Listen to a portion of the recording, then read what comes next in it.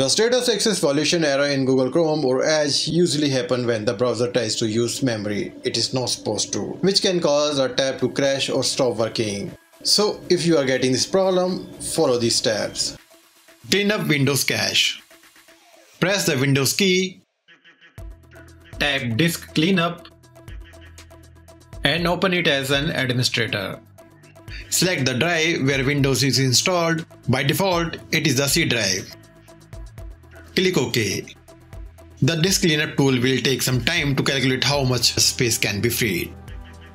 Select all the options except the recycle bin as it may contain important files that you might need to restore later. However, if your recycle bin is full of unnecessary files, you can select it as well. Click OK, then click delete files to confirm. Wait for the cleanup process to complete. Once finished, proceed to the next step. Delete temporary files. Press Windows plus R key button together and type this command and press the enter button. Now select all files and delete them. Change virtual memory.